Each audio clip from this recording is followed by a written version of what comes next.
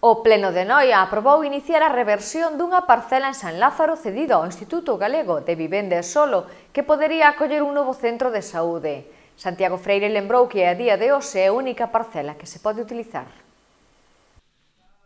A sombra do inicio da campaña electoral foi a protagonista na sesión plenaria ordinaria de outubro en Noia, non só porque o Pleno alongouse uns minutos despois na medianoite para dar resposta a dúas preguntas formuladas polo Grupo Municipal Socialista senón porque a pesar de que case todos os puntos da orde do día foron aprobados por unanimidade, o seu debate foi máis propio dun mitin electoral que dunha sesión plenaria.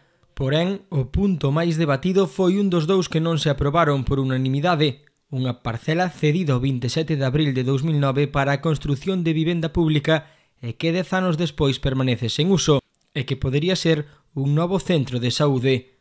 O Pleno acordou o inicio do expediente de reversión da cesión cos votos a favor de PP e Noia, fronte os votos en contra do PSOE, Marea e BNG.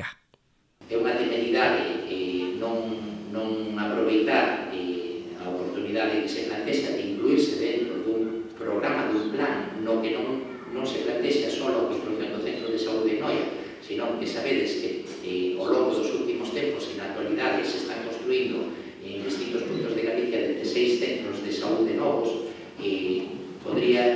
superarse eh, a circunstancia de que Noia quedara incluído dentro dese novo programa, dese plan no que se prevé a construcción de 4 ou 5 centros de saúde máis, e, eh, eh, o que sería para lamentarse despois é que por non ter eh, disponibilidade, pois ao mellor nos viramos privado de, desa de. E ese é o motivo, eh, ainda que o, que se, o acordo que se toma hoxe é exclusivamente de reversión da parcela, aquí non se toma ninguna determinación eh, automática de posta a disposición da mesma hasta que se nos eh, dé por boa a viabilidade desa, desa ubicación e desa parcela e hasta que se demostre que teñen encaixe eh, todas as unidades asistenciais e, por tanto, creemos que eh,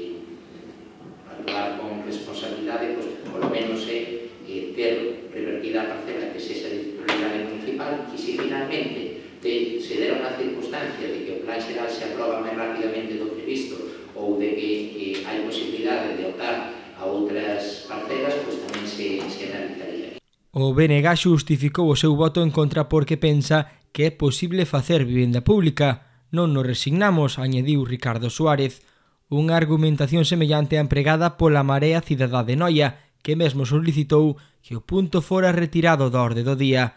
Noia necesita vivenda pública, asegurou Manuel Seixas, quen lle pediu ao IGUS que emitise un informe dicindo que non ia facer vivenda pública na vila. Se aínda houbera esta, esta opción eh, a construir, pois porque non esperamos, agora van a, a levarse a cabo os orzamentos da xunta, vexamos o que pasa con eles,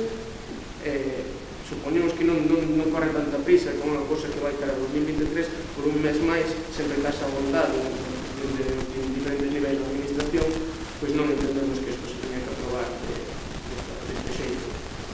Non sei cal é agora o argumento para que teñamos que crer que esta é a definitiva. Pero non só vostede porque vostede dirá o que lle contan. E o que lle contan é que no Parlamento Galego isto levouse tres veces a votación.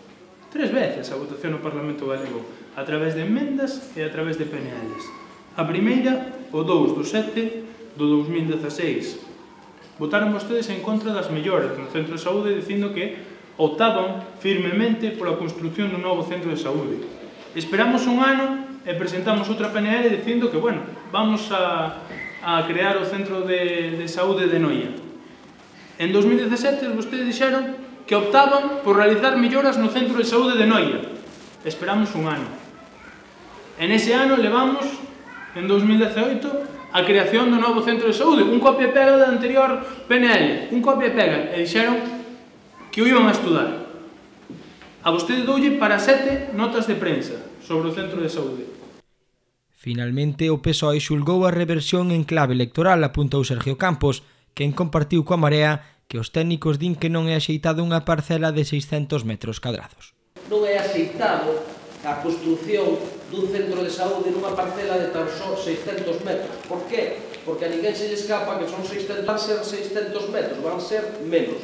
Que ten unha alzada prevista de tres plantas, de acordo? Entón serían 1800 metros.